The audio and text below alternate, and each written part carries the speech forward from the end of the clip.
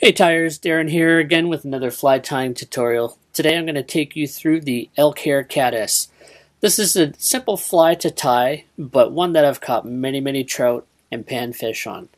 This was first designed in 1957 by legendary fly tyer Al Troth. He initially tied this for the Loyalsock Creek in Pennsylvania, and tied it for the green caddis hatch. Now, there's many versions of this pattern that have emerged over the years, somewhat like a woolly bugger, where you've got changes in the hackle, the dubbing, the wing, and even the size. You can tie these into bigger sizes like number six or number eight for uh, steelhead skaters rather than the usual 12 to size 18, say, for trout and panfish. Anyways, that's the gist of the pattern. I'm excited to share this pattern with you today. Let's get started.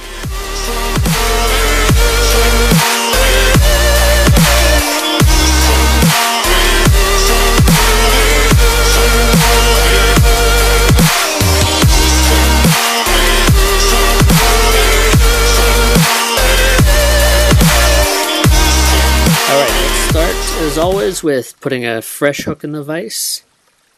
I'm using a Mustad R50 94840. You can use a any standard dry fly hook. I've mashed the barb on this one like these uh, micro barbs because they're easy to push down. So we're going to start with a Uni Thread 6-aught in tan. The hook I'm tying on today is a size 12. So we'll just start the thread at the eye and we're just going to roll it back just to where the bend of the hook starts. Trim that off. I'm going to use a piece of fine copper wire. If you can get a finer piece than that, I would recommend using it. This is to help protect your hackle. You can tie this without wire if you like, but you will need to Tie in your hackle at the back and wrap it forward rather than doing a reverse wrap as, as we're doing here today. So this is a peacock version of the caddis. So I'm going to use one of my favorite materials, the peacock herl. And as always, I like to use mine straight off the stem. I'm going to use about four herls for size 12. And I'm going to trim off the tips. And I'll tie this in up to the head.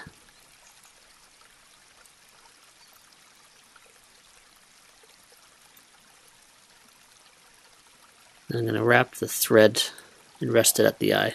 And then I'm just going to give that a little twist. And we'll start wrapping that forward. And every time I come down around, I just give it a little twist just to keep the peacock herls um, grouped together. Right, that looks good. I'm going to tie that tie that off right there with a couple loops around.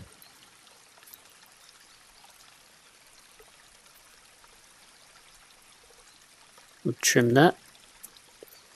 Next we'll tie in a hackle. I'm using a this is a whiting dry fly hackle or a saddle hackle. And this one is a primarily furnace pattern. Makes for a, a nice uh, coloration on the fly. So I'm just going to strip out a couple of the hackle fibers at the front. And I'll tie that in along the side of the hook eye. And then I'm going to push that tag end of the stem back just to help lock that in place. And now we're going to wrap this. Want to try and make sure that our hackle is, our shiny side is facing forward so that the hackles lay backwards. And we're going to put quite a few wraps on this. It's going to be fairly dense so that it floats high on the water.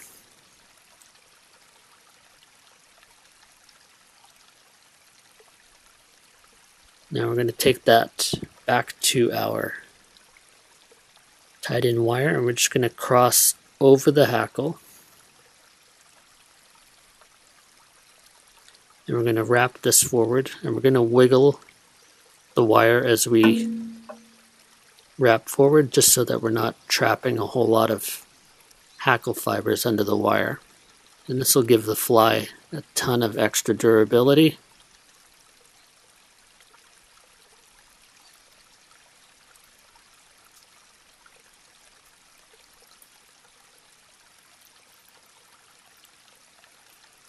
lock that in. Come in and use not the tips of our scissors, but a little bit further back. And the hackle in the back can just be pulled off. As long as you have to make sure that you have the wire tied tight in there. One thing I do like to do is trim a little bit of this hackle off the front just in a bit of an angle. So I'm going to let the wing of the fly sit down there, look nicer. So I'm going to take some deer hair and take a small clump.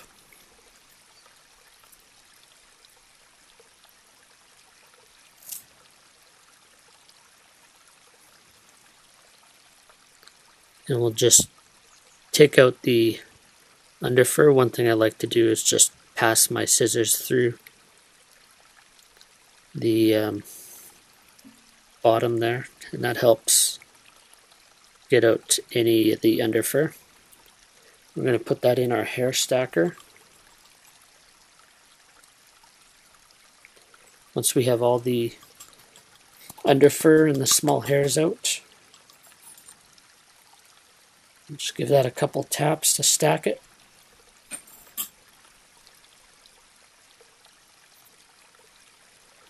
Now we're just going to measure that. Pardon me. Just going to measure that just slightly past the hook bend.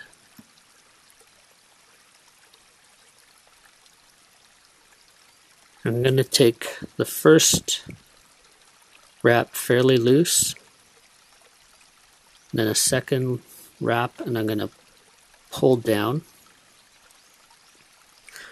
I'm going to switch to holding the butt ends and I'm going to come in front and wrap those in tight. And then I'm going to pull those forward again and take another couple wraps in behind.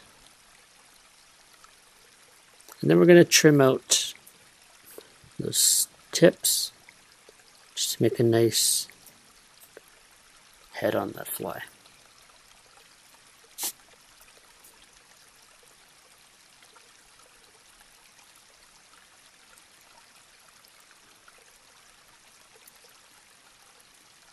Alright, so all we need now is a whip finish on this fly. You can dress this with a little bit of fly, dry fly floatant if you like. Um, some people might also just trim out a little bit of the hackle tips under the bottom just to help it sit a little bit flatter on the water. But I find it's not really necessary. But when I do fish it, I like to push the the wing flat just so that it sits nice and flat, flush to the water. There you go. That's the caddis. Thanks for watching. Please take a minute to subscribe to the channel, like this video, or add your comment. Until next time, keep a hook in your vise.